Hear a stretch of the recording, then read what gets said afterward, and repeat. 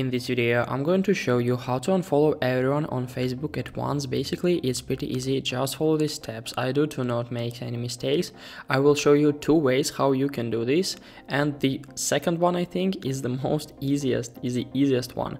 So the first way we can do is just to click on menu in the right bottom corner to open this page, and then just go to uh, settings and privacy right up here, and then just open settings so after that, in a search bar in the right top corner, just click on a search. And here we need to uh, click on news uh, feed. Search for news feed, so just click on news feed right up here.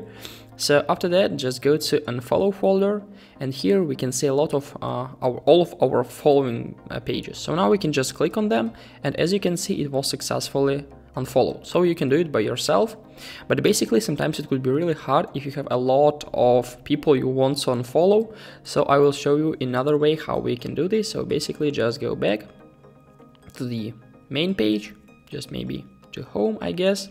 So let's open home and start from here. So uh, the same way, just click on the right bottom corner to open this page.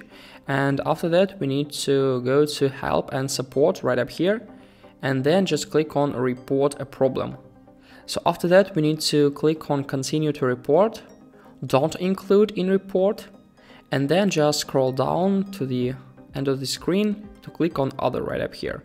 So after that we need to click uh, to input something like this. I want uh, to unfollow everyone. Please uh, help me and then just click on send.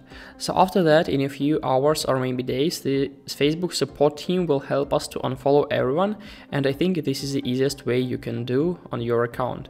So guys, I hope this video was useful for you. If it is, please like this video, subscribe to my channel and watch my other tutorials. I wish you a very good day.